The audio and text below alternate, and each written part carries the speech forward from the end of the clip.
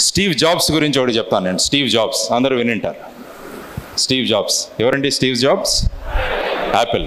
Apple సృష్టికర్త. ఆయన అన్నాడు ఈ ఐఫోన్ ఫోర్ ఒకటి తయారు చేశారు. IPhone four. మీ దగ్గర ఎవరి దగ్గర ఉంటే తెలుస్తుంది. కొద్దిగా లావుగా ఉంటుంది.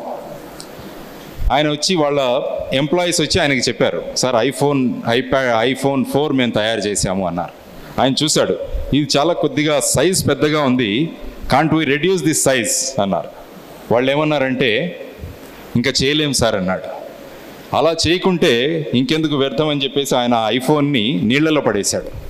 నీళ్ళలో అది వెళ్తూ వెళ్తూ అందులోంచి వాటర్ బబుల్స్ రావడం మొదలుపెట్టాయి. అంటే ఆ ఐఫోన్లో గాలి పట్టడానికి కూడా ఇంకా కొంత స్థలం ఉందన్నమాట. ఆయన అన్నాడు ఈ ఐఫోన్లో గాలి పట్టడానికి కొంత స్థలం ఉంది మరి ఆ స్థలాన్ని తీసేస్తే ఇంకా మనం చిన్న ఐఫోన్ను తయారు చేయొచ్చు అన్నారు. అప్పుడు ఎంప్లాయీస్ అంతా సిగ్గుపడ్డారు.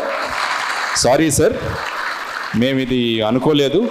కాబట్టి వాళ్ళు దాన్ని తీసుకెళ్ళి ఇప్పుడు మీ అందరి చేతుల్లో ఉన్న ఐఫోన్ అన్నది గాలి కూడా పట్టడానికి వీల్లేనంతగా తయారు చేసిన సాధనం అనమాట ఇది ఇలాంటిది creativity this is called creativity కాబట్టి ఈ పన్నెండు రోజుల శ్రమ ఏంటంటే మిమ్మల్ని ఒక క్రియేటివ్ మనుషులుగా తయారు చేయడం అనమాట